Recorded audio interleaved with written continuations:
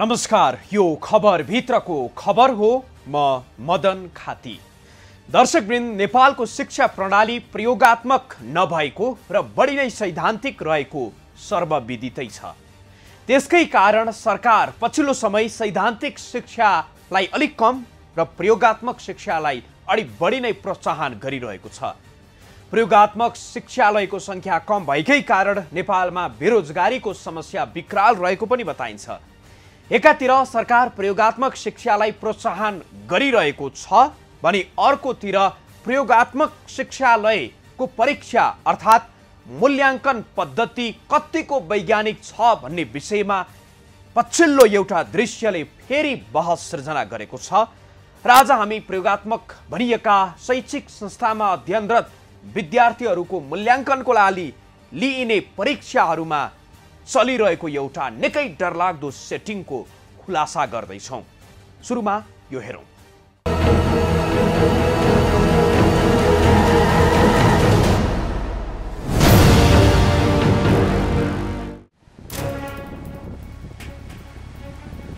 यो स एक छ सात सय त्रिचालिस नम्बरको एम्बुलेन्स कमलामाई मेडिकल तथा पोलिक्लिनिक बन्दीपुर तिन सिराहाको।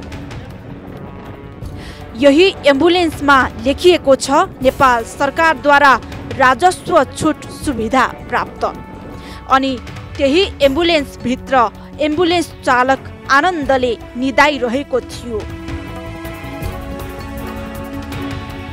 उक्त एम्बुलेन्स त्यो समय कुनै अस्पताल वा कुनै स्वास्थ्य केन्द्रमा थिएन कि राजविराज पाँच सप्तरीको पब्लिक बिन्देश्वरी माध्यमिक विद्यालयको प्राङ्गणमा थियो।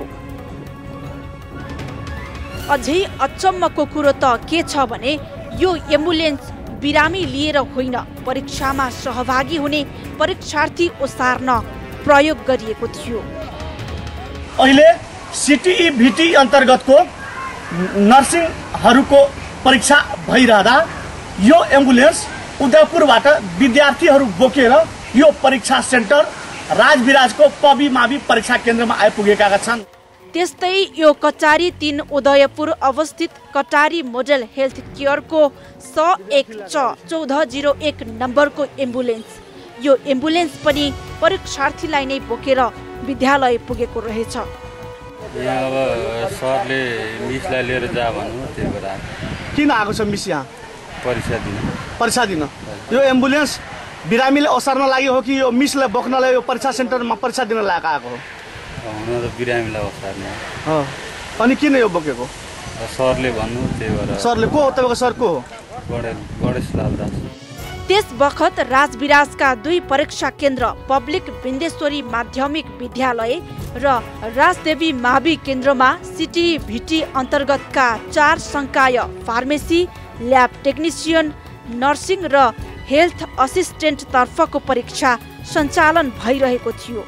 करिब एक हजार परीक्षार्थी सहभागी यी दुई परीक्षा केन्द्रमा हदैसम्मको लापरवाही भएको थियो। हो बिहिबारबाट सञ्चालन भएको प्राविधिक परीक्षामा सिट प्लानदेखि परीक्षा अवधिमा धमाधम चिट चोराउने सम्मको अतिरञ्जित गतिविधिहरू भइरहेको थियो। त्यो पनि चरण चरणको सेटिङमा एकै बेन्चमा दायाँ बायाँ अनि तल्लो माथिल्लो बेन्चमा एउटै विषयको परीक्षार्थीहरू राखी सिट प्लान गरिएको रहेछ। फ्याकल्टी हो तपाईँको? D pharmacy. तपाईँको? डी फार्मेसी हो। फ्याकल्टी हो? Lab technician. ल्याब टेक्निसियन भने तिम्रो कुन फ्याकल्टी हो? Lab technician. तिम्रो कुन हो? Lab technician. तर यो कुरा परीक्षा सञ्चालनमा खटिएका कर्मचारीहरूले भने यो सत्य स्वीकार्न तयार भएनन्। बरु उल्टै क्यामेरामा समेत झुट बोल्दै थिए। एउटै फ्याकल्टी त छैन। अब के छ भने छ्यासमिस भन्दा पनि यो एउटा बेन्चमा दुईजना छ जसमा दुइटै दुइटै फ्याकल्टीको सेम छैन। है दुइटै एउटा बेन्चमा दुईवटा फ्याकल्टी बसेका छ। दुई दुईजना गरी परीक्षा सञ्चालन गराउने सिटिई भिटीकै कर्मचारी अध्ययन गराउने शैक्षिक संस्था र परीक्षा निरीक्षकहरूकै संलग्नतामा चिट चोराउने काम भइरहेको थियो। कस्तो विडम्बना। घुस दिएर परीक्षामा चिट र किताबकै छुट। आफ्नो क्षमताले भ्याए जति लेखेर परीक्षा दिनुपर्ने हो तर यहाँ त रकमको चलखेल गर्दै परीक्षामा पास गराउनेदेखि आफ्नै विद्यालयको शिक्षक मार्फत नै चिट चोराउने काम भइरहेको छ। त्यो पनि स्वास्थ्य जस्तो संवेदनशील क्षेत्रको प्राविधिक विषयको परीक्षामा। हो पब्लिक बिन्देश्वरी माध्यमिक विद्यालय परीक्षा केन्द्रमा चालिसजना इलेक्ट्रिकल ओभरसियर परीक्षार्थीहरूको परीक्षा केन्द्र राजदेवी परीक्षा केन्द्रमा थियो अनि परीक्षा गार्डको रूप धारण गरेर चिट चोराउनका लागि उक्त विद्यालयका शिक्षक लक्ष्मण मेहतालाई खचाइएको स्रोतको दावी छ। यी परीक्षा केन्द्रमा युनिक कलेज तथा medical science Chhinnamasta education academy Jagdamba academy softtech engineering college Udaypur technical कलेजका सञ्चालकहरूले पनि आ आफ्ना विद्यार्थीलाई जसरी पनि पास गराउन रकमको चलखेल गरी आवश्यक व्यवस्था मिलाइएको स्रोतको दावी छ। यो परीक्षामा भद्रगोल देखियो। एउटै कक्षा कोठामा एउटै समूहका विद्यार्थीहरू राखिएका थिए भने सिट प्लानिङ समेत सेटिङको आधारमा गरिएको पाइयो। र यहाँ केही निरीक्षकहरू जो बाहिरबाट ल्याएर राखेका थिए विद्यार्थीलाई सहयोग गर्नका निमित्त। हुन त यसरी अमर्यादित तरिकाले परीक्षा सञ्चालन हुनु सप्तरीमा कुनै नौलो कुरा होइन। परीक्षा केन्द्रहरूमा विगत जस्तै यस वर्ष पनि चिट चोराउने काम भने रोकिएको छैन। यद्यपि एसइई र राष्ट्रिय परीक्षा बोर्डको परीक्षा भन्दा पनि हाल सिटी भिटीबाट सञ्चालित परीक्षा स्तरहीन भइरहेको छ। परीक्षामा बिरामी बोक्ने एम्बुलेन्सको प्रयोगदेखि चिट चोराउने सम्भवको काममा जिम्मेवार निकायकै व्यक्तिहरूको संलग्नताले समेत परीक्षाको स्तर र यसबाट आउने नतिजामाथि गम्भीर प्रश्न खडा भएको छ। हो परीक्षा लिइने नै विद्यार्थीको सिकाइ कति रहेको छ भन्ने जाँच्नको लागि हो। तर सप्तरीमा जे देखियो त्यसले हाम्रो मूल्याङ्कन पद्धति कस्तो रहेछ भन्ने कुरा उजागर गरेको छ। परीक्षामा सहभागी विद्यार्थीलाई उत्तीर्ण गराउनको लागि चरण चरणमा भइरहेको सेटिङ निकै डरलाग्दो मात्र होइन यो विडम्बनापूर्ण र आपराधिक कदम नै हो। प्रसङ्ग बाँकी नै छ हामी सँगै रहनुहोला।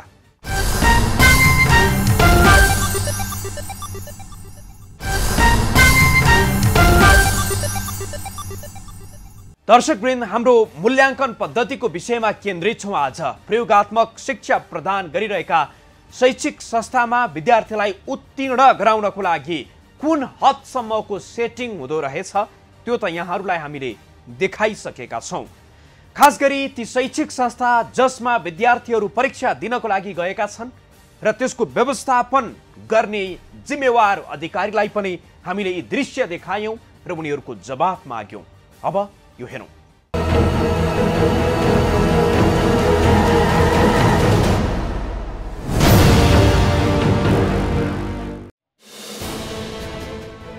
सप्तरीको राजविराज स्थित पब्लिक बिन्देश्वरी र राजदेवी माध्यमिक विद्यालय केन्द्रमा सिटी भिटीले फार्मेसी ल्याब नर्सिङ र हेल्थ असिस्टेन्ट तर्फको प्रवेश परीक्षा गएको बुधबार सञ्चालन गरेको थियो।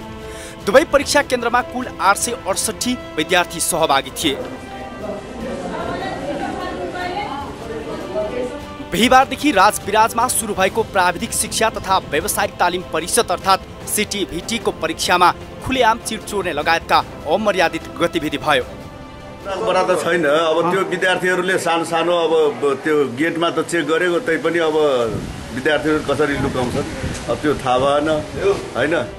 हो। सिटी भिटीबाट खटेका कर्मचारी एवं सुपरिवेक्षक केन्द्राध्यक्ष तथा निजी क्याम्पस सञ्चालकहरूको सेटिङ अनि मिलेमतोमा परीक्षामा अमर्यादित गतिविधि सञ्चालन भइरहेको थियो। परीक्षा केन्द्रमा परीक्षा सञ्चालित कोठाहरूबाट सयौँ थान चिट र किताबहरू फेला परेका थिए। बाहिर प्रहरीको निगरानी अनि भित्र परीक्षा निरीक्षकहरूको उपस्थितिका बीच परीक्षा भवनभित्रबाट चिट वा किताब फेला पर्नु बिना प्रहरी तथा केन्द्राध्यक्षहरूको मिलेमतो बेगर कसरी सम्भव हुन्छ? मेरो यो छ कि मेरो कतै कलेजको संलग्नता छ भने देखाउनुहोस्। या जसलाई जसको सेटिङ तपाईँहरू देख्नुभएछ त्यसको उजागर गरेर त्यसलाई कारवाही गर्नुभयो भने हामीलाई धेरै खुसी हुन्छ। किनभने हाम्रो विद्यार्थी राम्रो निष्पक्ष प्रवेश परीक्षा भएर आयो भने क्वालिटी विद्यार्थी आउँछ र हाम्रो अन्तिम चाहना त्यही हो कि राम्रो विद्यार्थी आओस्। हाम्रो रिजल्ट राम्रो होस्। हामी त सदियोदेखि विरोध गरिरहेछौँ। यो ठेक्कापट्टा हाम्रो नाममा हामीलाई बदनाम गरेर बजारमा उठाइरहेको छ होइन? यसलाई कन्ट्रोल गर्ने हाम्रो बसमा त होइन नि। यदि मेरो कर्मचारी कसैले एक पैसा लिएछ प्रुभ गर्नुहोस् त्यो कर्मचारीले शिक्षाका माफियाहरूले त ठुला ठुला त पैसा उठाएकै हो। अब उठाएको छ उठाएको छैन यो यसबारे म केही भन्न सक्दैन। तर मेरो कुनै संलग्नता छ मेरो कुनै कर्मचारीको संलग्नता छ भने त्यो कर्मचारीलाई लाउनुहोस्। आजै म त्यो यसबाट उसको नोकरीबाट म निष्कासन गर्छु। राजविराजका दुई परीक्षा केन्द्र पब्लिक उच्च मावि र राजदेवी मावि केन्द्रमा सिटी भिटी अन्तर्गतका चार सङ्काय फार्मेसी ल्याब नर्सिङ र हेल्थ असिस्टेन्ट तर्फको परीक्षा बिहिबारबाट सुरु भएको हो। तर परीक्षा केन्द्रहरूमा विगत जस्तै यस वर्ष पनि चिट चोराउने काम भने रोकिएको छैन। तर परीक्षा केन्द्रका सञ्चालकहरू भने यो कुरा स्वीकार गर्न मानिरहेका थिएनन्।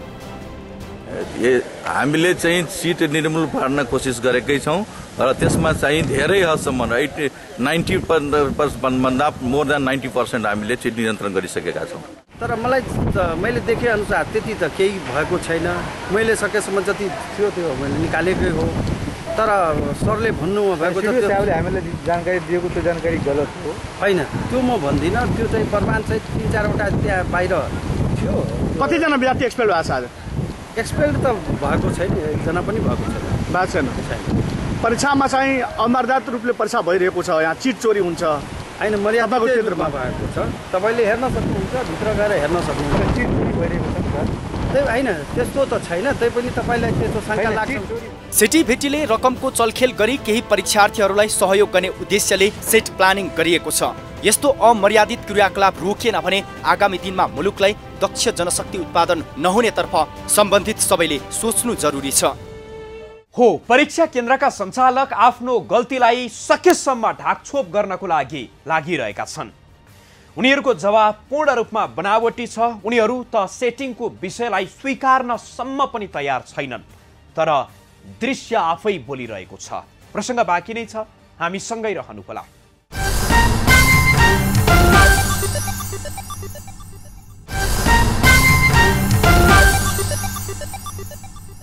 दर्शकवृन्द परीक्षा पद्धति र त्यसमा भएको गडबडीमा केन्द्रित छौँ आज।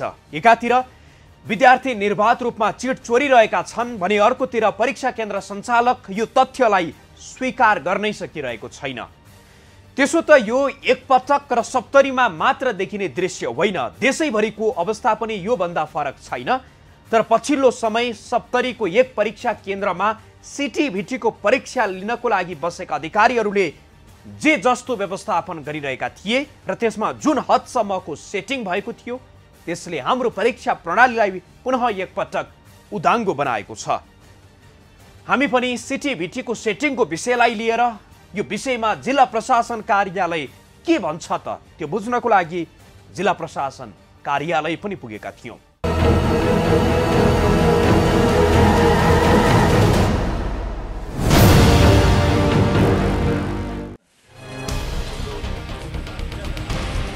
सप्तरीको राज विराजमा unique education Rajdevi academy Chhinnamasta academy Jagdamba academy सहितकाले सिटी भिटीका सङ्कायहरूको अध्ययन गराउँदै आएका छन्। जिल्ला बाहिरका परीक्षार्थीहरूसँग गिरोहले रकम सङ्कलन गरी सिटी भिटीका कर्मचारी र केन्द्राध्यक्ष समेतको मिलेमतोमा प्रश्नपत्रमा उल्लेख भएको उत्तरहरूमा ठिक चिन्ह लगाएर परीक्षार्थीहरूलाई वितरण गरिएको तथ्य सार्वजनिक भएसँगै उक्त परीक्षा केन्द्रमा तहल्का मचियो यता राजविराजमा बिहिबार सम्पन्न परीक्षार्थी सहभागी गराउन कटारी मोडेल हेल्थ केयर उदयपुर र Kamalamai medical and polyclinic Bandipur सिराहाको ambulance प्रयोग गरिएको पाइएको छ। दुवै एम्बुलेन्स परीक्षा अवधिभर परीक्षा केन्द्रहरूमै थन्काइएको थियो। यसबारे प्रश्न गर्न हामी जिल्ला प्रशासन कार्यालय राजविराजतिर लाग्यौँ। सप्तरीका प्रमुख जिल्ला अधिकारी सुरेन्द्र पौडेललाई भेट्न अनि उनको जवाफ यस्तो आयो। यो मैले आज तपाईँहरूले भनेपछि मात्रै थाहा पाएँ यो एम्बुलेन्सको प्रयोग भएको छ विद्यार्थी ओसार्न भनेर। यो सन्दर्भमा मैले समयमै खबर पाएको भए तत्काल म कार्य प्रक्रिया अगाडि बढाउँथेँ। त यहाँहरूबाट प्राप्त जानकारी अनुसार यो एम्बुलेन्स एउटा सिराहाको एउटा उदयपुरको रहेछ। म त्यहाँ त्यो एम्बुलेन्सको नियन्त्रण गर्ने समितिको संयोजक सिडे साहब हुनुहुन्छ। उहाँलाई त्यो एम्बुलेन्सको दुरुपयोग भएको बारेमा अझै जानकारी गराएर आवश्यक कारवाहीको प्रबन्ध मिलाउँछु। यति मात्रै होइन सिटी भिटीबाट खटेका कर्मचारी एवं सुपरिवेक्षक केन्द्राध्यक्ष तथा निजी क्याम्पस सञ्चालकहरूको मिलेमतोमा परीक्षामा अमर्यादित गतिविधि सञ्चालन भइरहेको तथा यस्तो कार्यमा स्थानीय प्रशासनले समेत मौनता साधेको देखिन्छ। यसरी परीक्षा हलमा भएको घुस पैठारीको चरणबद्ध सेटिङ र चरम लापरवाहीबारे पनि प्रश्न गर्यौँ र त्यसको जवाफ यस्तो आयो। तर हामीले विगतको परीक्षाभन्दा उच्च स्तरको कायम राख्न प्रयास गरेका छौँ हामीले परीक्षा हुनुभन्दा अगाडि एक दिन अगाडि हामीले त्यो परीक्षा समन्वय समितिको बैठक बसेर विभिन्न निर्णयहरू लिएका छौँ। त्यो निर्णय लिएका सन्दर्भमा अब पहिला जस्तो जथाभावी गर्न पाइनँ भनेर पनि अर्को खालको कारणले धेरै समस्याको रूपमा सिर्जना देखाउन खोजिएको हुन पनि सक्छ। तर विद्यार्थीले गोजीमा बोकेका चिट चोर्न प्रयास गरेको बाहेक त्यसमा नियन्त्रण गर्न प्रयास हामीले अत्याधिक गरेका छौँ। हामीले यो परीक्षा समन्वय समितिबाट विशेष मान्छेहरू खटाएर त्यसको नियन्त्रणको व्यवस्था मिलाइराखेका हो यसअघि नर्सिङ फार्मेसी सहित चारवटै सङ्कायको राजविराजमा भएको प्रवेश परीक्षा पनि यसरी नै अमर्यादित भएको थियो भने सेटिङ गरिएका परीक्षार्थीलाई जसरी पनि पास गराउन विभिन्न खालको सहयोग गर्ने काम परीक्षा कोठामै भएको थियो। त्यसो त प्रशासनले भने यदि यस्तो अमर्यादित क्रियाकलापमा विद्यार्थी तथा परीक्षा सञ्चालकहरूको संलग्नताको जानकारी भएमा मुद्दा समेत चलाएर कारवाही गर्ने बताउँछ। तर पनि यस्तो क्रियाकलापको अन्त्य हुनु त परको कुरा नियन्त्रणसम्म भएको पाइँदैन। यस्तो गतिविधि वर्षेनी चल्दै आएको छ यहाँ। यस्तो तपाईँले भन्नुभयो यो के अरे विगतको परम्परा हो भनेर। गर्न नपाएको कारणले धेरै पीडा पनि हुनसक्छ। मैले बाहिरी हस्तक्षेपबाट परीक्षामा असर परेको सन्दर्भमा मेरो जानकारीमा छैन। यदि त्यो जानकारी आयो र प्रमाण पुग्यो भने खुट्टा कमाइँदैन। पहिला जस्तै हामीले मुद्दा चलाउनेमै मुद्दा चलाउँछौँ नि यसमा दुई मत तपाईँ यहाँहरू कसैले पनि हुनु पर्दैन। र मात्रै के हो भन्दाखेरि विद्यार्थीले बोकेको चिट चोर्न खोजेको सन्दर्भमा त्यो विद्यार्थीलाई कारवाही नगरिदिएको अवस्था चाहिँ। हामीले मात्रै के भने विद्यार्थीलाई चोर्नबाट वञ्चित गराउने। तर विद्यार्थी हो यो परीक्षा बिग्रियो भने मेरो सत्यानाश हुन्छ भनेर हामीले उनीहरूको दिमागमा हालिदिएका छौँ। त्यसले गर्दा परीक्षा सपार्नलाई चोर्न खोज्नु विद्यार्थीको छटपटाहट हो। त्यो छटपटाहटलाई चोर्न नदिने उद्देश्य हाम्रो हो त्यो गराइरहेको त्यसो त प्राविधिक शिक्षा तथा व्यावसायिक तालिम परिषद सिटिभिटीले सप्तरीमा सञ्चालन गरेको परीक्षामा खुलेआम चिट चोर्ने लगायतका अमर्यादित गतिविधिमा संलग्न भएको भन्दै राजदेवी परीक्षा केन्द्रबाट पच्चिसजना र पवि मावि परीक्षा केन्द्रबाट आठजना परीक्षार्थी निष्कासित भएको सिटिभिटीले जनाएको छ। राजदेवी मावि परीक्षा केन्द्रबाट निष्कासित विद्यार्थीहरू प्रदर्शनमा समेत उत्रिएका थिए। चिट चोर्न सहयोग गरेको आशंकामा सिटी भेटीका दुई सुपरभाइजर लक्ष्मण मेहता र सञ्जय यादव पनि निष्कासित भएका छन्। यतिले मात्रै पुग्दैन। यसरी शिक्षा क्षेत्रमा समेत गिरोहको माध्यमबाट कमाउ धन्दा बनाउनेहरू सबैको एकाएक पहिचान गरेर कारवाहीको दायरामा ल्याउनुपर्छ सरकारले। हो परीक्षा केन्द्रमा चलखेल गरी अनुचित रूपमा विद्यार्थी उत्तीर्ण गराउनको लागि यति बेला विभिन्न गिरोह नै सक्रिय छ। त्यो सप्तरीमा मात्र होइन जहीँ तहीँ छ। केही व्यक्तिलाई कारवाही गर्दैमा यो छिन्न भिन्न हुन सक्ने अवस्था छैन। त्यसकारण सिटिभिटीको नेतृत्व आफ्नो विश्वसनीयता जोगाइराख्नको लागि यस्ता अनुचित कार्यमा संलग्न जो कोहीलाई कारवाहीको दायरामा ल्याउन सकोस् र आफ्नो विश्वसनीयतालाई थप बढावा दिन सकोस्। हवस् त आजको लागि खबरभित्रको खबर यति नै भोलि। नयाँ विषयका साथ पुनः उपस्थित हुनेछौँ। खबरभित्रको खबरको लागि हेर्दै रहनुहोला भि न्युज खबर। नमस्कार।